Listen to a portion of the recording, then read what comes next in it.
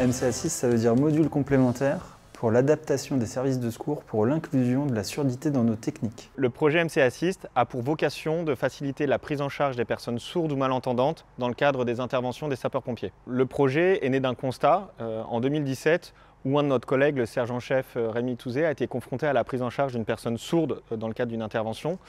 La communication s'est avérée difficile. Je me suis retrouvé personnellement euh, eh bien, euh, dans une situation euh, problématique, compliquée, où je l'ai mal vécu et ça m'a interpellé. D'où l'intérêt que les pompiers évoluent dans leur pratique professionnelle et qu'on puisse avoir eh bien, les moyens d'aborder et rassurer la victime et ensuite faire un bilan de secourisme adapté. Dans le cadre de ce projet, les sapeurs-pompiers n'ont pas œuvré seuls. Il s'agit d'un projet construit en équipe avec des experts sourds et des associations de sourds.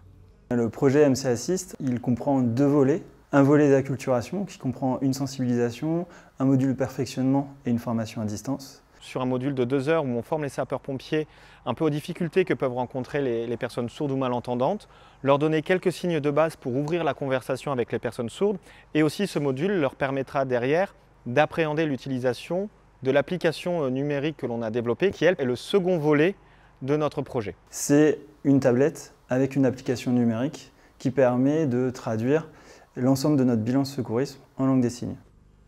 En tant qu'expert en langue des signes française, mon objectif dans ce projet est de vérifier et valider la qualité des vidéos traduites en langue des signes française.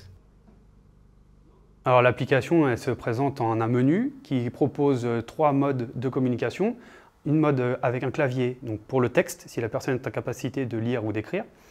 Un menu langue des signes française qui est aujourd'hui développé, et un menu pictogramme qui n'est pas encore euh, acté aujourd'hui, puisqu'on n'a pas développé complètement les pictogrammes. L'application, elle est faite de manière artisanale, avec les compétences internes, mais demain, il faudrait qu'on arrive à professionnaliser notre application. Et pour le professionnaliser, nous nous mettons dans une démarche de recherche de financement afin de pouvoir avoir des entreprises qui nous accompagnent dans le développement. L'accompagnement par le fonds MNT a été une véritable opportunité euh, pour notre équipe projet, ce qui nous a permis de prendre de la hauteur sur notre projet et surtout d'organiser notre manière de, travailler et, surtout de, pouvoir avoir des éléments de communication, des éléments de langage et d'être davantage convaincant quand on voulait présenter le, le, projet. Je ressens une grande fierté à l'idée que le fonds MNT a été parmi les premiers à accompagner ce projet, mais j'espère qu'il va donner le signal du démarrage à l'ensemble des autorités de, de, l'État, des collectivités territoriales pour soutenir un projet qui est en phase avec les besoins de la population,